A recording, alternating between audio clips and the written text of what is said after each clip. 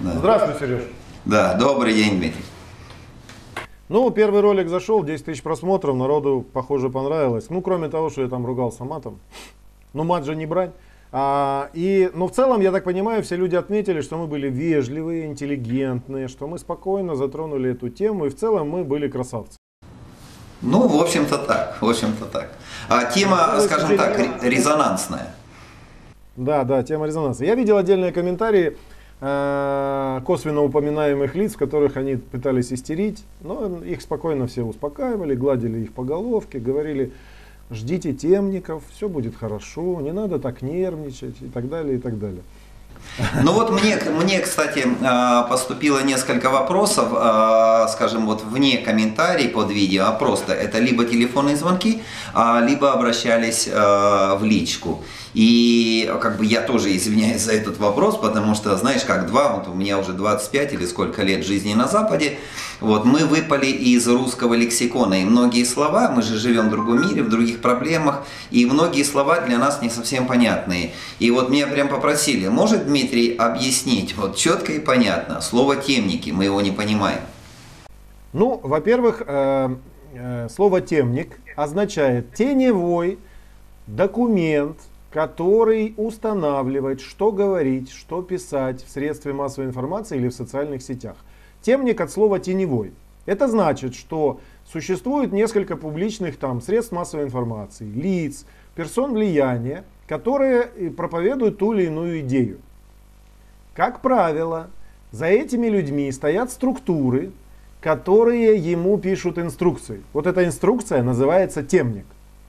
Э, В переложении на нашу историю с бессмертным полком, когда происходит провокация для того, чтобы власти, например, отменили бессмертный полк э, по признакам экстремизма в связи с портретом того же Сталина, то это не сами такие талантливые люди делают такую провокацию. Это аналитический отдел написал инструкцию, а, люди сделали определенную работу, вывели людей и э, таким образом исполнили темник.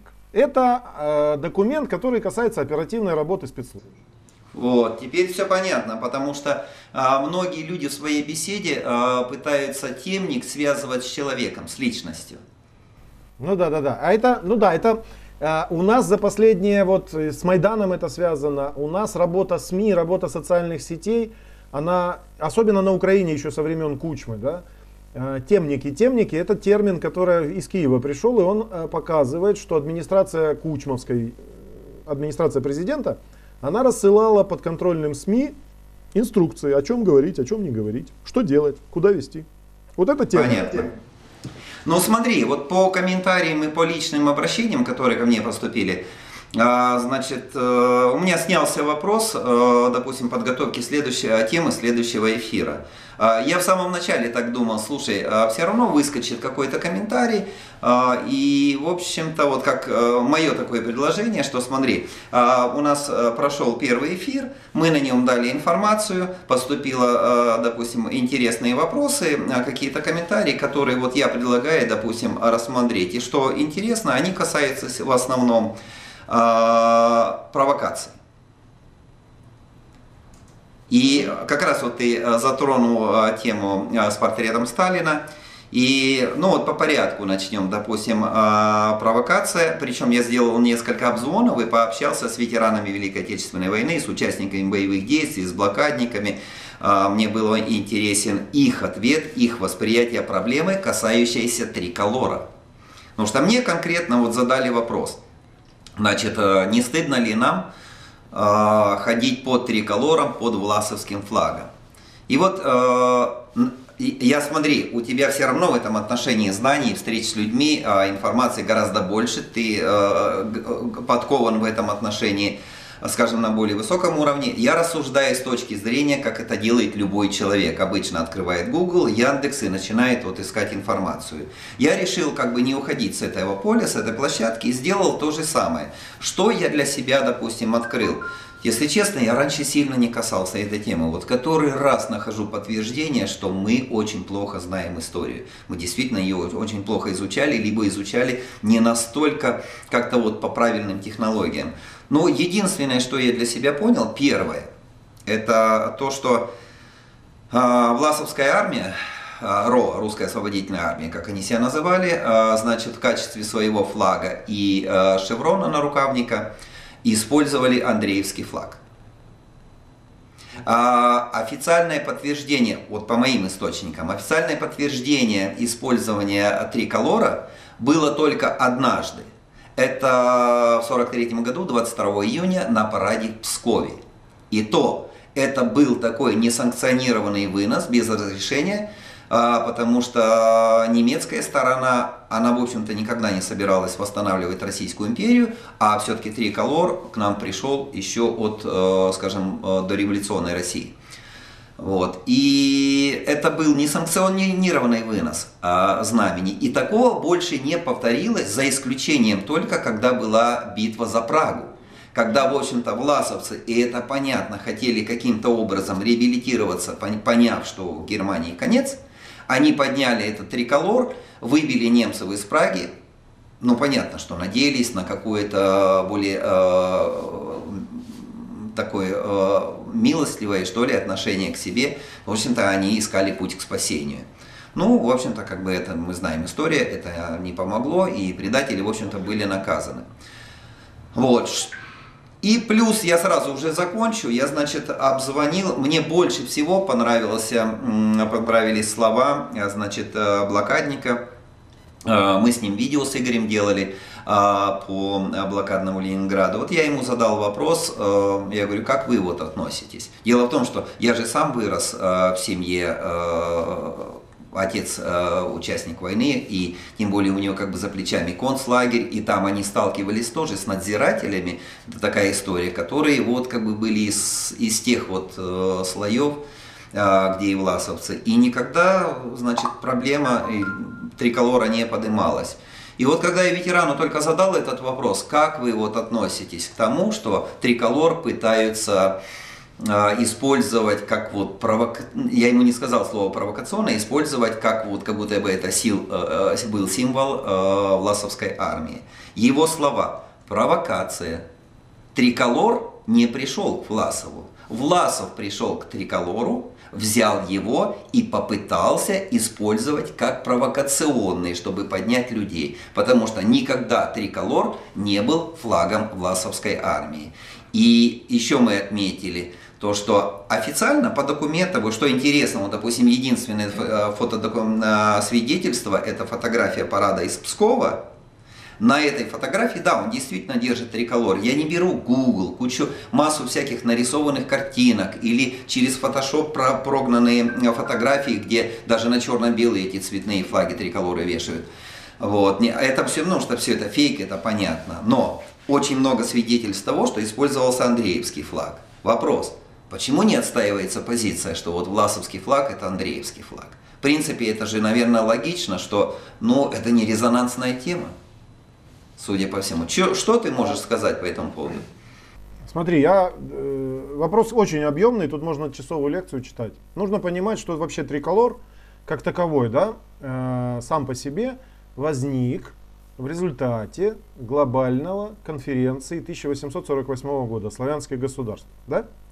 А, при этом было обозначено в 1848 году у всех славянских государств, почти у всех, триколор в той или иной последовательности. У Крыма триколор, только полосы разные. У, ну, во Франции, понятно, вертикальный триколор, но возьмите Сербию, возьмите там другие страны, да, за исключением Польши. Польша отдельная тема. Это цвета флагов глобального предиктора Атлантического крыла, который взял под себя а, управление этими территориями после, ну, во всяком случае, э, в начале той войны, которую признано э, ну, называть Крымской, войной севера и юга и опиумной войной. Это глобальная война, которая шла по всему миру. Вообще этот флаг триколор, это голландский флаг.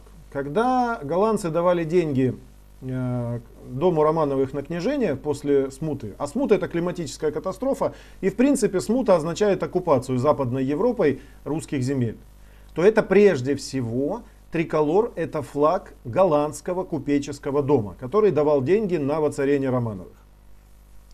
Это оккупация, это тоже геноцид, это огромное количество проблем, связанных с церковной реформой никонианской, да, в результате которой были этнические чистки старообрядцев, не больше и не меньше. И что касается Википедии и источников, надо понимать вот какую вещь. Ну, я м- квалифицированный военный специалист, да, который еще в студенческие годы обнаружил такую вещь, что документы архивные, я не говорю о Википедии, об английском ресурсе, который вообще решает информационную задачу, они в промышленных масштабах фабрикуются для того, чтобы люди могли э, в качестве аргументов на что-то сослаться. Теперь вернемся к Википедии. А, смотри, разведпризнак первого уровня. Как только звучит словосочетание «власовский флаг», то в ассоциации первого уровня андрейский флаг не значится, а сразу триколор. Это случилось не за последние 10-15 лет.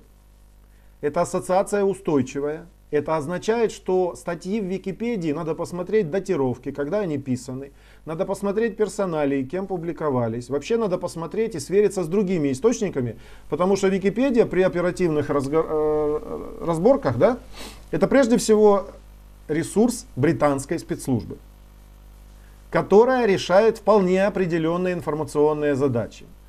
Ну, например, когда группа Яковлева, когда Горбачев э, в 1985 году захватил власть, вокруг него британцы сформировали группу Яковлева.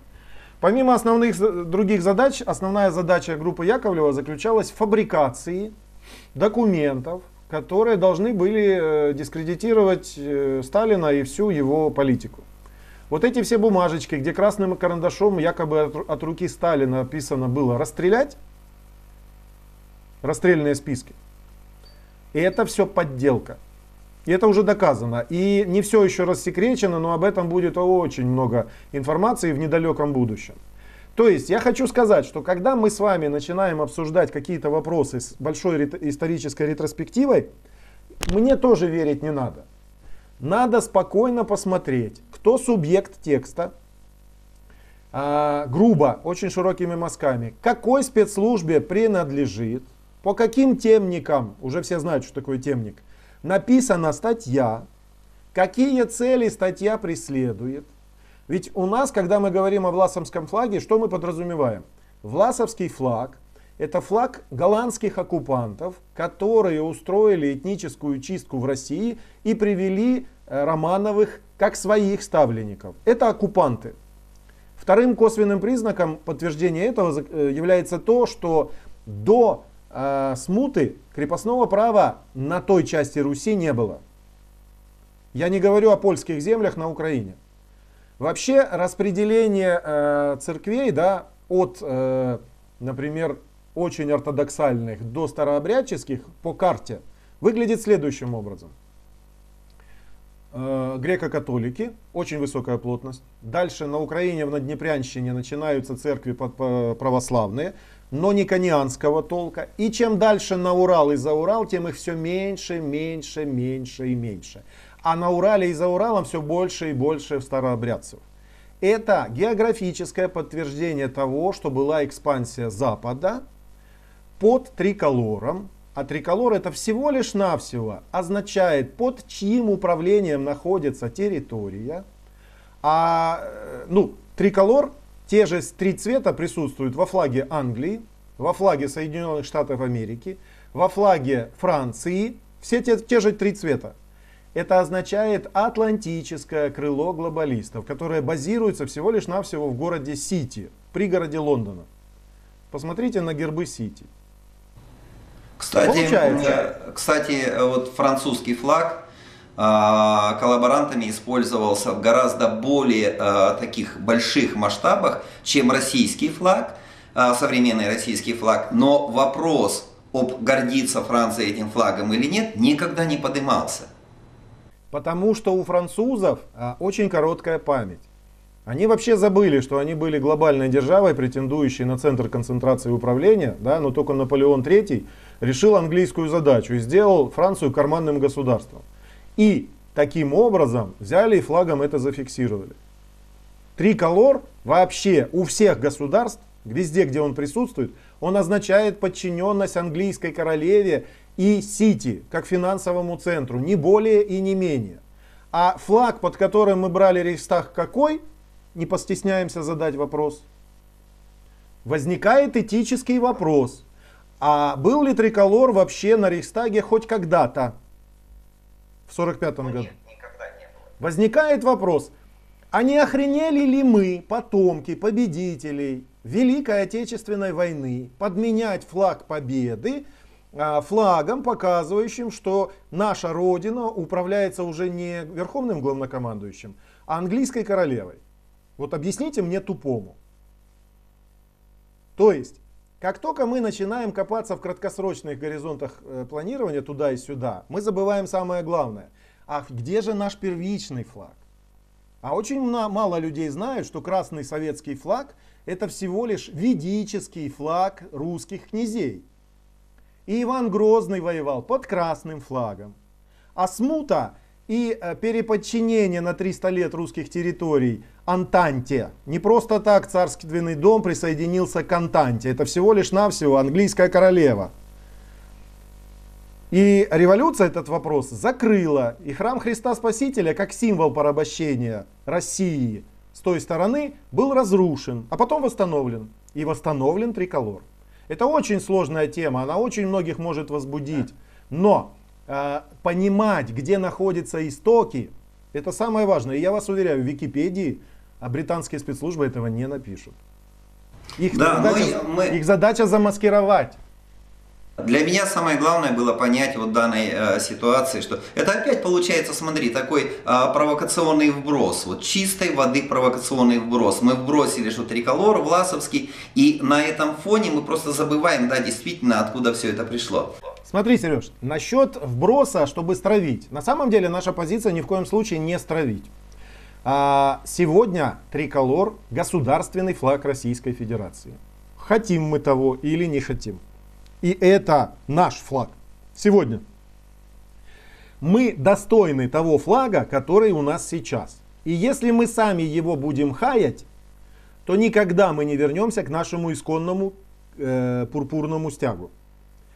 Получается очень важное разделение и развлечение. Я сейчас говорю, что Власовский триколор, символизирующий оккупацию Западной Европой, России еще с начала 17 века недопустим только на бессмертном полку. Потому что там флаг победы, это наш красный исторический флаг. Во всех других случаях, за исключением бессмертного полка, это государственный флаг России, которым требуется оказывать уважение в той степени, в которой это возможно на сегодняшний день. Просто в чем смысл игры тех же британских спецслужб, которые пишут темники и по территории всего британского содружества? Чтобы вырастить потомков, которые вообще не понимают, что к чему. И которые будут сходу с порога говорить, ну это же триколор, ну что вы хотите, это многовековой русский флаг. Тут весь черт в нюансах. Надо знать тонкости и понимать, что символы управляют миром. Триколор это не флаг России, это не флаг Сербии, не флаг Франции, не флаг других государств.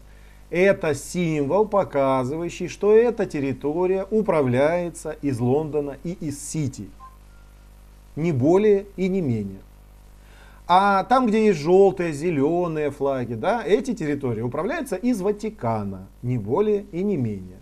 И вот понимание вот этой глобальной структуры, что два центра управления всем миром находится один в Лондоне, а другой в Ватикане, а людям закрыто. Люди этого не понимают. Наш исторический флаг до возникновения Лондона и Ватикана это красный. И центром концентрации управления была Москва. Город Владимир, вернее. Владеть да. миром. Да. Но Окей, с этим вопросом ясно. Если будем углубляться, это слишком длинная тема. По этой теме вообще это, это даже не один эфир, я так понимаю. А, я еще хотел напомнить, вот смотри, там а, в комментариях а, проскочило такое понятие, значит, я беру те, кто говорят, там, ребята, хорошо, молодцы, нужная тема, правильно, хорошо говорите, с этим понятно. А, я говорю от лица, кто комментарии негативные дает. И негативные в первую очередь мы затронули э, логотипы, символы, под которыми ходят бессмертные полки. Я, допустим, хочу добавить, чтобы всем четко было понятно, что в нашем диалоге мы не выступаем против того или иного символа. Мы ведь говорим о том, куда, с каким символом идут. То есть, если э, берем журавлик, и если вот берем у нас, допустим, город Монреаль, в Монреале бессмертный полк до полторы тысячи человек собирает, хотя община небольшая, будничный день, не выходной. Но вот что нас поразило, когда мы там были, это драйв. Это, знаешь, вот такое ощущение, вот какой-то такой подъем, вот все люди на взводе буквально, потому что это праздник. Все пришли, значит, это шествие совершили, а, происходит, да, у них символ а, журавлик, и люди делают правильное действие. Ветераны с ними, все вот, все, это праздник победы, в котором никакого другого ощущения нету, именно ощущение победы. Но если стоит вопрос – в том, что у нас бессмертный полк, здесь мы перекидываемся на Торонто, допустим, организовывает свое шествие в отрыве от празднования Дня Победы, они просто не приходят на празднование Дня Победы, не приходят ну, ни на одни акции, да вообще ни на одно мероприятие не приходят. Знаешь, с одной стороны рапортуют о тысячах человек участников. С другой стороны, за последний год мы проводим э, битва за Москву, Сталинградская битва, Курское сражение, какие бы мероприятия не проводим, они не приходят на них, они их игнорируют. Даже блокадный Ленинград вот прошел, они опять не пришли. То неважно под каким символом они ходят. Это неправильно их поступки, их вот эта вот э, эта реакция и игнорирование, может быть бойкот в какой-то э, мере, это неправильно. И если они будут ходить под Георгием Победоносцем, да, мы скажем, причем здесь он жертва, причем Георгий Победоносец, если ваши действия. Мы говорим о действиях, самое главное, потому что бессмертный полк и празднование Дня Победы – это один праздник. Просто э, главный стержень праздника – это День Победы, Бессмертный полк это дополнительная, вот как придаточная акция к тому, чтобы этот праздник сделать. И что интересно, вот э, что меня пугает больше всего. В твоих словах тоже проскочило, что, допустим, спецслужбы Запада стараются вытравить э, в русском человеке, в современном молодом человеке отношение, допустим, э, к своей истории. И вот интересно, бессмертный полк, это же праздничное шествие, идут же семьи, идут с детьми. И чем все это закончится? Тем, что если люди будут ходить на бессмертный пол, которого никакого отношения не имеет Дня Победы, там ходят дети, там ходят молодежь, они будут уже возвращены под понятием, что при чем здесь ветераны? Это наш праздник. Поэтому вот в этом году мы делаем юбилей нашего праздника. А День Победы здесь ни при чем. И оно так и есть. Вот смотри, 400 с лишним тысяч русскоговорящих жителей и э, в Торонто. Э, я сейчас пытаюсь формировать а, такой, а, как группу а, транспортной поддержки для ветеранов.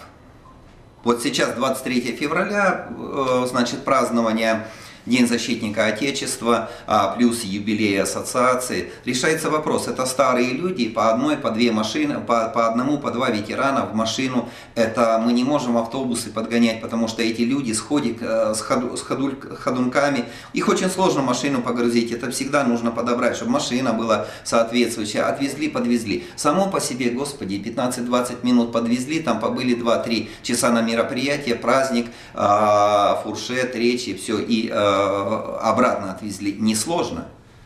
Мы не можем 10 машин собрать.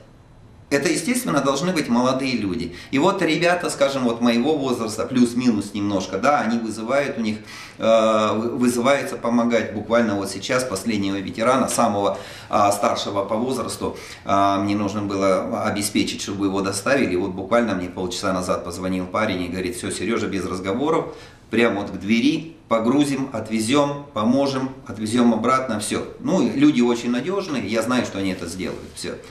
А молодежной активности нет. Это же тоже вот как бы последствия всего этого. То есть это не просто такая безобидная а, акция, подумаешь, мы не пришли на празднование День Победы. Фактически, фактически, это настолько уже, я не знаю, глобальная технология, или как ее назвать. Я это, знаешь, как называю, технология современного предательства. Понимаешь, вроде как бы безобидно, вроде мы говорим о победе, вроде мы говорим о празднике, а фактически что? Что мы делаем? А, День Победы мы отрицаем. И вот здесь я возвращаюсь да, к тому, что И э, речь не идет о символе, под которым ходит, речь идет о поступках. О поступках. Куда, куда, э, э, куда вы идете под этим символом? Вот это вот страшное.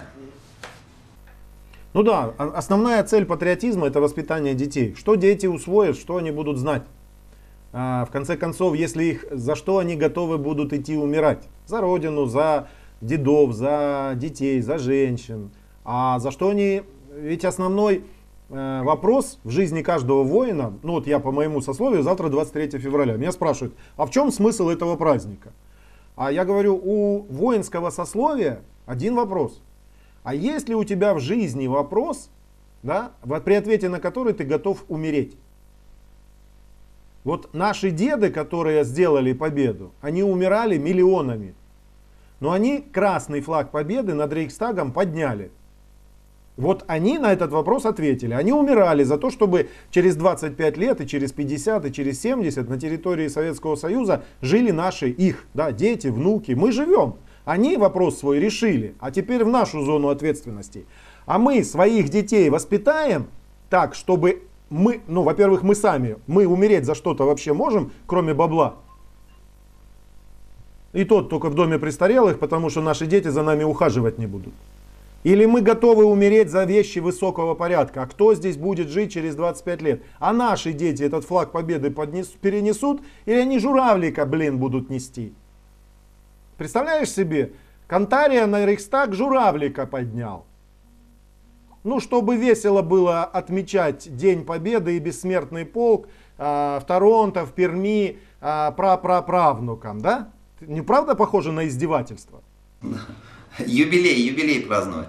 Да, мы празднуем юбилей. Да не охренели ли вы с таким юбилеем? Взять бы весло, блин, да дать бы по башке, блин. По-русски так, нормально. Так, нормально. Без французского.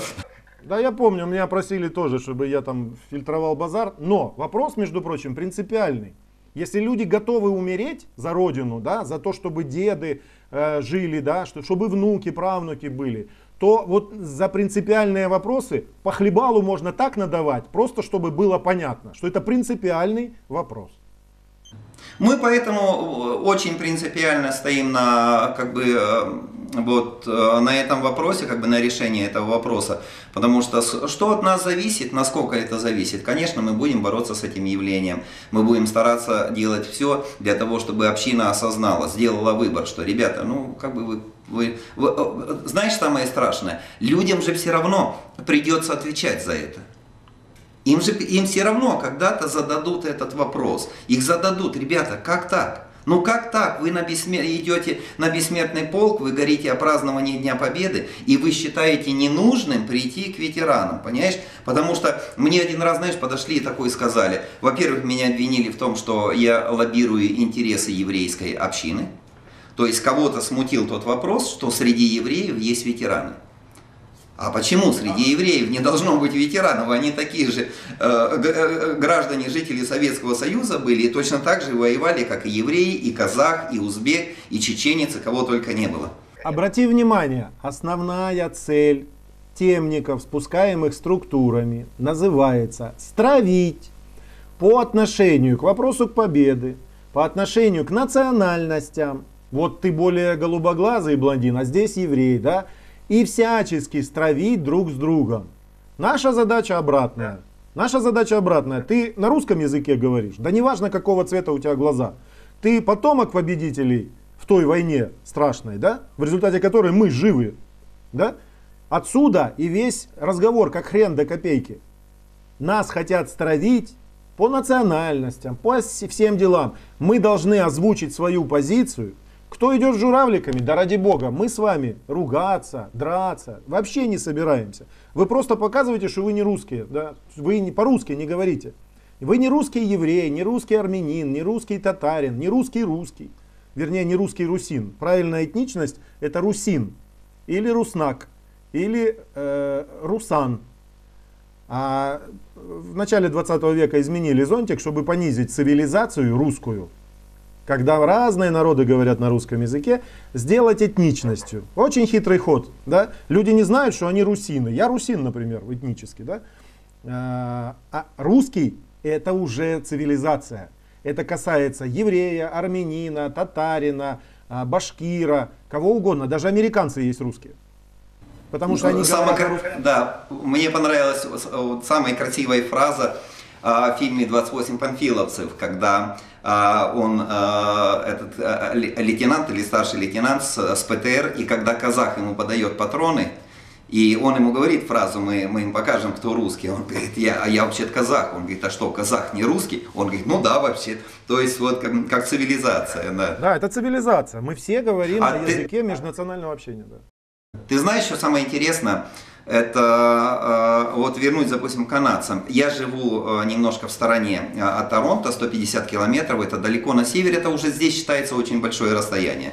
В том плане, что там совершенно другой, другие люди, все совершенно другое. И вот я единственный там, кто живет, это такие фермерские территории, соседи, но с ними что, мне приходится работать, мы, допустим, э, на несколько хозяйств можем там трактора использовать одни и те же, поэтому я чью-то технику использую, мою технику используют. У меня сосед мог запросто прийти, э, допустим, ему нужен трактор, на, возьми. Мне машина сломалась, в школу нужно отвезти ребенка, я захожу к соседу, э, дай машину мне ребенка в школу отвезти. Это нормальное явление. У меня приезжали гости, было такое, нет хлеба или нет бутылки вина на стол поставить. Я заходил к соседу, у меня, говорю, гости, там надо хлеба или Э, вина. Он дает хлеб, дает вино, спрашивает, что еще надо, чтобы гостям было хорошо. Иди попробуй это в Торонто сделай.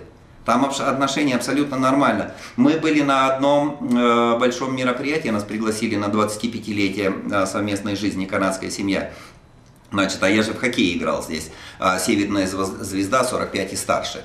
А вот. У нас пару человек играли в возрасте, кто за Торонто Мэйпл Лиф играл в свое время. То есть это такой хороший уровень, а, мы полностью в форме, вот как положено, экипированные были. И мы попали на юбилей, и, значит, э, мы были единственная русская семья в этом э, мероприятии, и тут вдруг раз один из наших игроков, э, причем не с нашей команды, а с соседника, против которой мы всегда играли, он подводит несколько человек и говорит, вот эта семья, мы с супругой были, они русские, и они позволили, чтобы мы их называли своими друзьями. То есть они гордятся тем, что здесь живут русские и что они, э, что мы позволяем им считать, что они э, наши друзья. То есть абсолютно нет никакого негатива от простых людей в отношении русских. Русских, они все, будет вот казах, чеченец, они скажут русский, они воспринимают нас вот как цивилизацию. То есть вот здесь вот противоречий сильных нету. Поэтому ну, это я так, как пример. Смотри, а, окей, а, эти темы, чтобы мы долго не затягивать, а, сейчас я хотел перейти, знаешь, поступило а, несколько комментариев, и, скажем, вот комментарии, которые а, я бы хотел а, обсудить больше всего. Значит, комментарий номер один, который зашел от а, Марины М, это женщина, которая живет у нас в Торонто. А, значит, вот написала она такую вещь. А, ну, там, знаешь как, по большому счету не заслуживает на такое длительное изучение. А вот. Что она пишет? не Интервью, много лжи и дезинформации, не зная, что добивается господин Сергеев, но только не объединение русской общины. Кстати, если обратиться к публикациям о нем на самом Фейсбуке, поймете, что двигают им отнюдь не идейные соображения.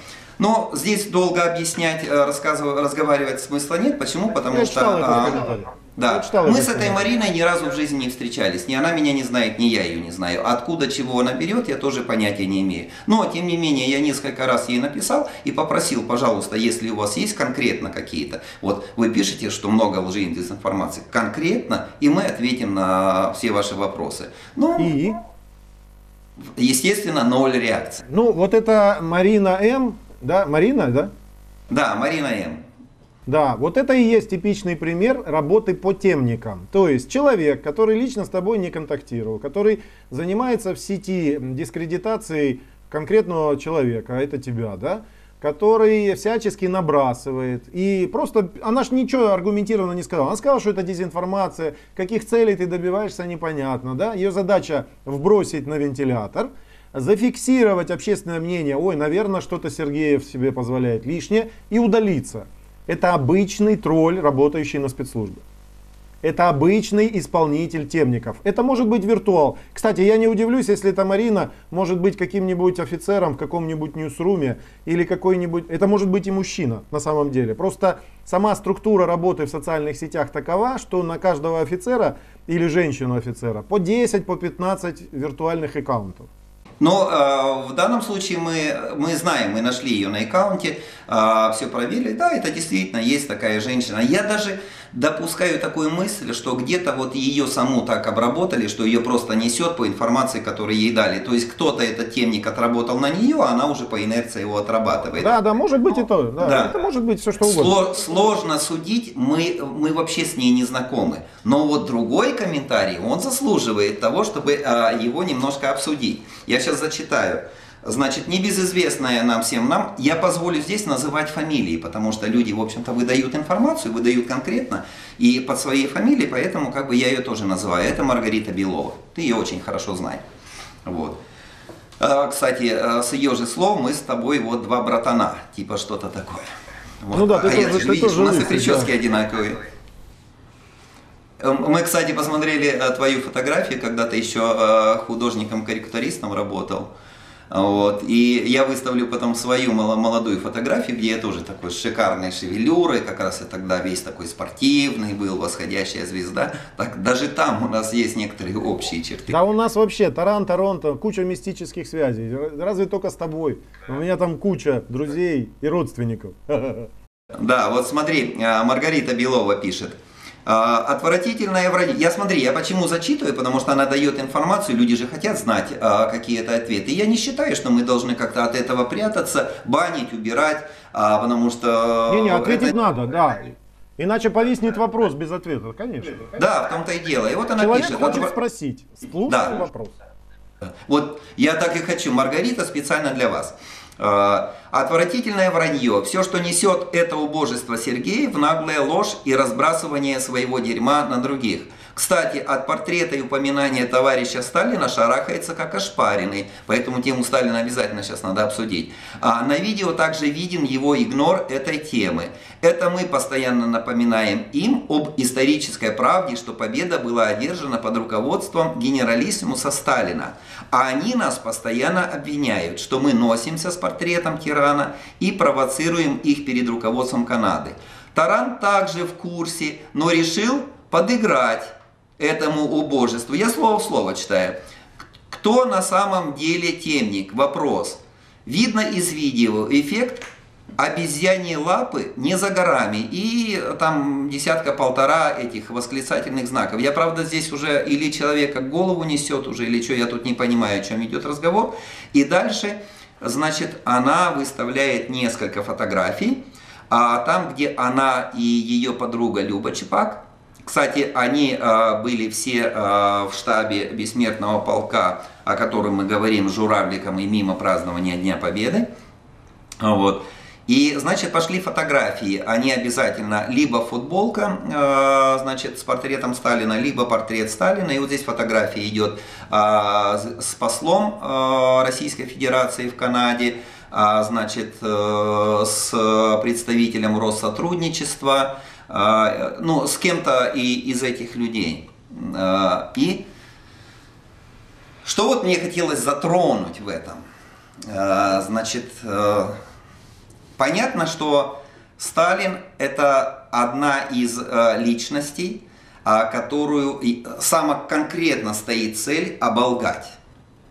И, ну да. да, и в Канаде, в Канаде в частности, а, значит, э, есть закон на запрет определенных а, символов, и вот, допустим, празднование Дня Победы, все-таки нам разрешается разворачивать флаги, э, знамя Победы и все остальное. То есть это, это потому что в какой-то степени это же как а, культурно-историческое мероприятие, и здесь оно как бы нет, не запрещается, нам разрешает шествие бессмертного полка, но здесь же не только мы, русская община.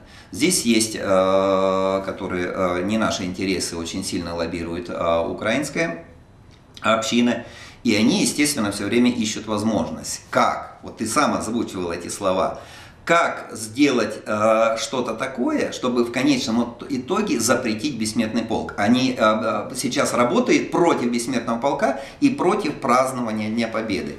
И вот теперь, теперь я сейчас как вот такую небольшую ремарочку скажу, допустим, я пытаюсь ставить себя, допустим, на место э, вот этой э, небезызвестной э, Маргариты Беловой и Любы Чепак. Вот, с позиции смотрю, что можно сделать, чтобы попробовать поспособствовать провокации и закрыть бессмертный полк. Естественно, ничего в голову более как придумать провокацию самым одиозным понятием канадцев, э, одиозной личностью, и что вызовет скандал, это э, использовать портрет Сталина. И вот смотри, закономерная вещь. В течение трех лет эти две дамы, живя в Торонто, едут на празднование Дня Победы в Оттаву. Оттава – это столица Канады. И когда происходит бессмертный полк, они всегда подсуетятся и выйдут с портретом Сталина. После первого, одного из него выхода, значит, сразу же на страницах э, группы «За демократические свободы» поднялся скандал, была составлена петиция, отправлена э, в парламент Канады, был э, принят закон Магнитского, Потом, а, значит, э, это один скандал, и концовка закончилась. И уже даже после этого первого действия любой нормальный человек, если он если он не идет по пути провокации, он поймет, что этого делать нельзя. Вы видите, какие последствия? И концовка вообще шикарная. Но тем не менее, на следующий год они опять приезжают, опять то же самое. И на последний год они приезжают, а, Оказывается, тут еще группа украинцев. Поднимается скандал, новая петиция, финал. Бессмертный полк в Лвотове запрещен. А, ну вот, вот и результат работы. Да, ну, все, да, Маргарита, девочки теперь да, уехали Маргарита домой. написала, что вот мы за портрет Сталина, а Таран тоже промолчал, а вы против портрета Сталина, и где же это все? Это называется манипуляция и агентурная работа. То есть, я себе вижу следующее. Ну, вообще, Чепак – это фамилия а, не только нашей общей знакомой, но еще и была такая пресс-секретарь а, у Януковича. Дарка Чепак. Да? Это э, известная фамилия на Западной Украине, как раз там, где и находятся выходцы из североамериканских э, регионов украинские. Да? Это в основном греко-католические общины. Это своя мощнейшая разведка, контрразведка, оперативные службы, замкнутые на и Великобританию, и канадские службы. Я в данном случае ничего такого не говорю и ни в коем случае не выступаю против государственности Канады. Я просто говорю об особенностях оперативной работы. То есть оперативная работа ведется следующим образом. А давайте-ка мы в среде русских иммигрантов, которые очень сильно вдохновлены бессмертным полком, а, поставим пару провокаторов, которые нам накинут пас, чтобы у нас было основание – для запрета бессмертного полка в столице Канады, для того, чтобы возбудить украинскую диаспору. Давайте поищем таких провокаторов, чтобы они были, а, эмоциональные, это женщины, б, имели идеологическую заряженность, а это значит родовые привязки, да, связи с западной украинской диаспорой, которая на самом деле а, имеет мощнейшую разведку и контрразведку, и оперативные подразделения.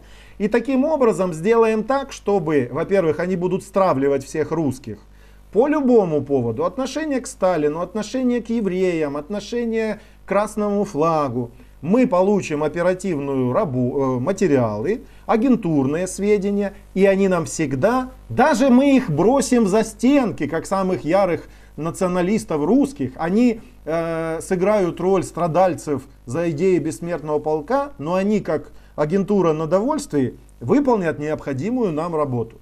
Не более. Отработают на 100%. Да, не более, не менее. Я только хочу спросить, девочки, вы хоть нормальные деньги получаете? Может вы за, э, ну настолько глупы, что просто за 3 копейки берете и а, портите отношения с русскими людьми, которые на самом деле против вас вообще ничего не, не видят. Я общался с ними достаточно долго, но после определенных истерик просто забанил.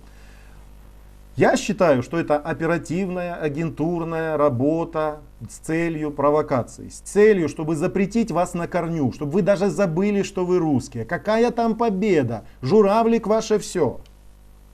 Но оно к этому идет. А что самое интересное, и Маргарита Белова, и Люба Чепак, Они были у меня дома, они сидели за моим столом, они кушали мой хлеб. Нет, и, ну, подожди, и, ну вербовочный подход к тебе же надо было сделать. Ну да. Ты не, ты не вербанулся, ты показал, что ты за 150 километров и тебе наплевать на э, их общину. Им было очень обидно. А, кстати, э, ты же тоже получил много информации, э, согласно которой, э, значит, организация ОПГ, это организованных преступных группировок, весь бандитизм Торонто, весь под моей крышей. То есть, как бы, это все, все, все мое. То есть, я как что бы, ты, типа вот... Подожди, и что ты, почему ты мне только сейчас об этом сообщаешь? Ты понимаешь, я же сам не до конца знал эту информацию. И вот что самое интересное, так ты, что... Так ты, так ты в законе у нас, да?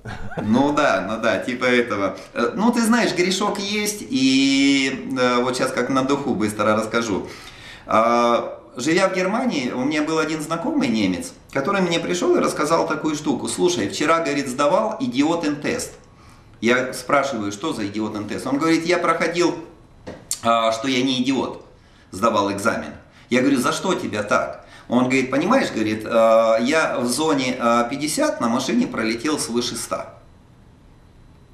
И согласно немецкого закона, ты не просто платишь штраф, там лишение права отбываешь, а ты еще сдаешь экзамен, потому что правильно. Но не может нормальный человек, не идиот, с такой скоростью на фузгингер-зоне, то есть на пешеходной зоне ходить.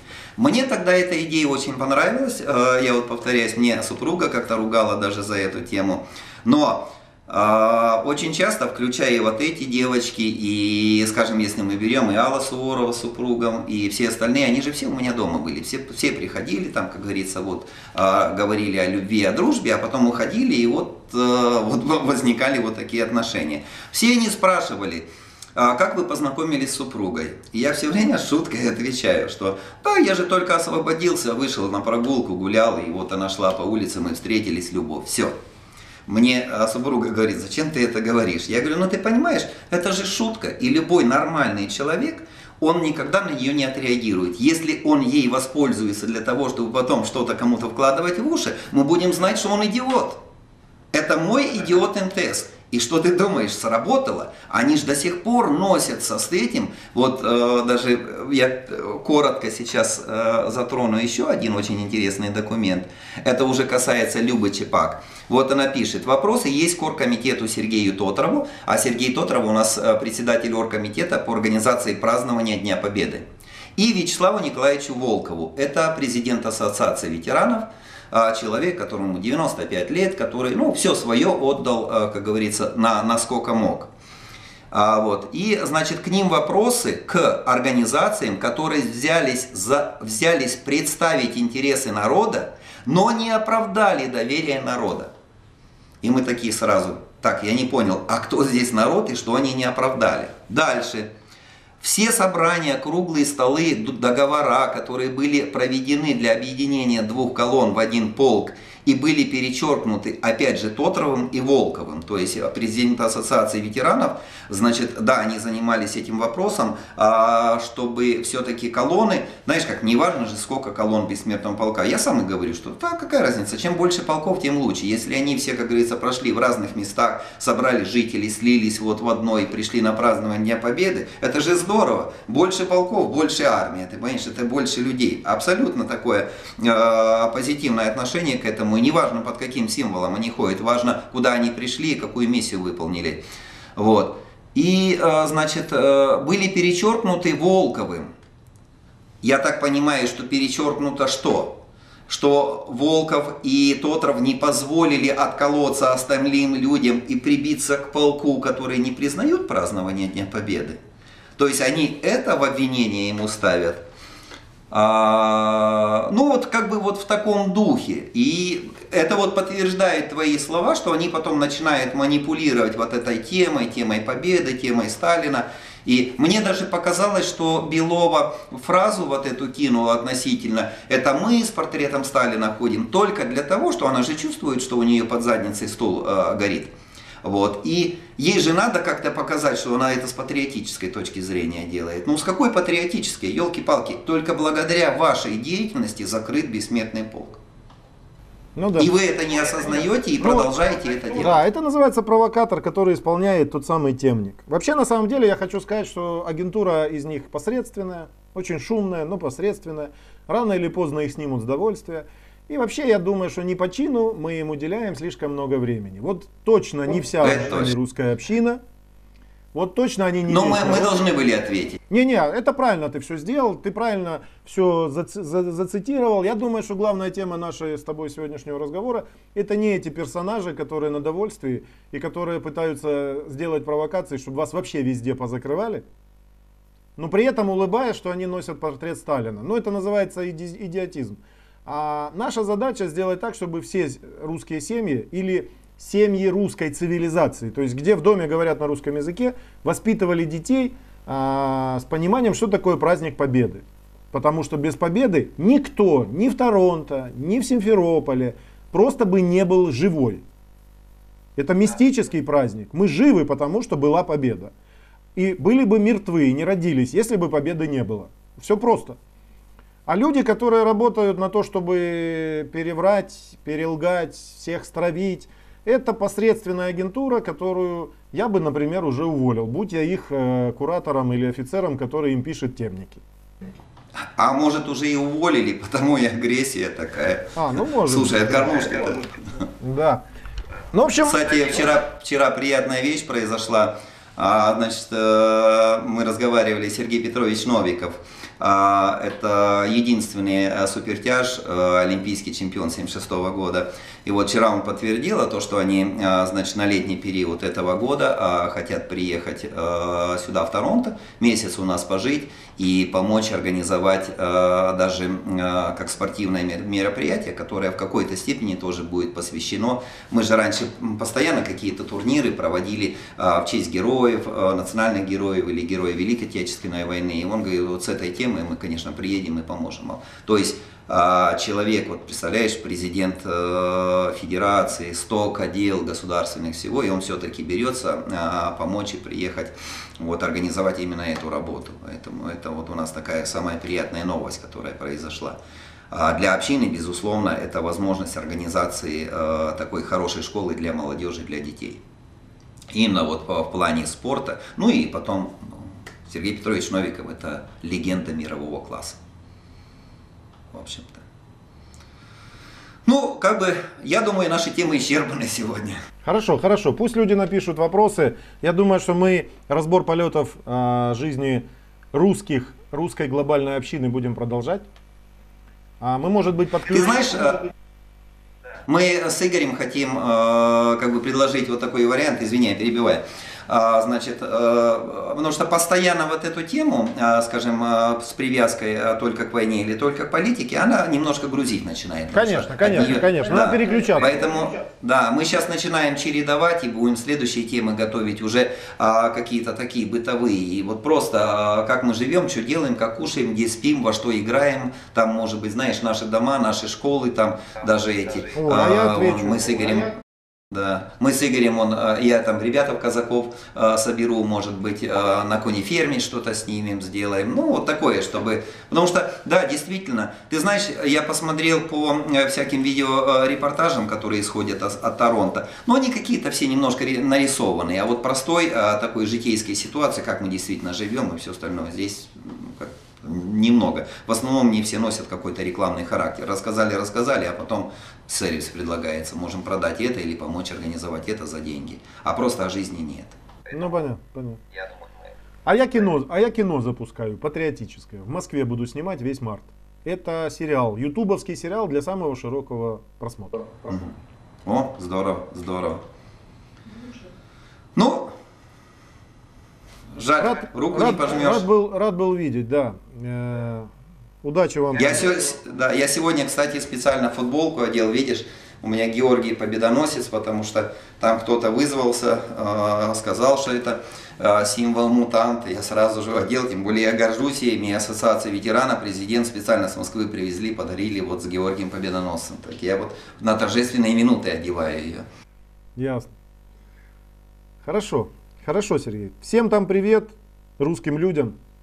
В самом широком смысле слова русские это цивилизация, а не народ, не этнос. А все у нас будет хорошо. Добренько, все, спасибо, до следующего эфира. До свидания.